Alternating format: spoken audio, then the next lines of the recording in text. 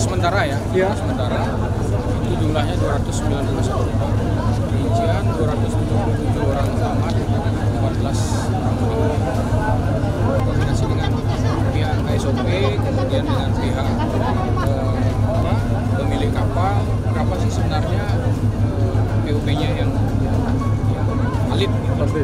yang pasti kalau memang sudah semuanya dari data yang ada sudah semuanya melebihi dari total yang disampaikan